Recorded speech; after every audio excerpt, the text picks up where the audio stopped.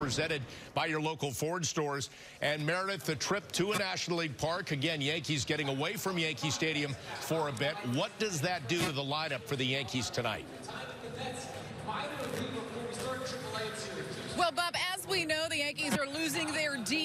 the next three days, and it really begged the question, what does that mean for Giancarlo Stanton?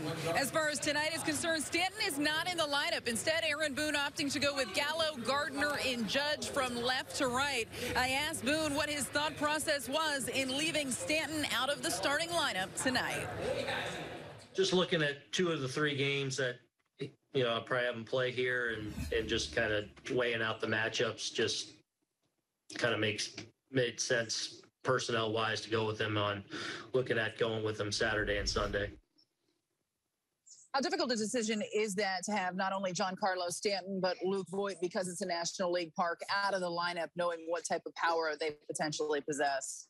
Yeah, I mean, especially now as you know we're we're much more whole and healthy and have all our guys. You know, you hate not having that DH there, but um, you know that's part of it. We got two big big bats over there that we can fire uh, in different situations. Hopefully, in a big spot tonight that uh, you know to help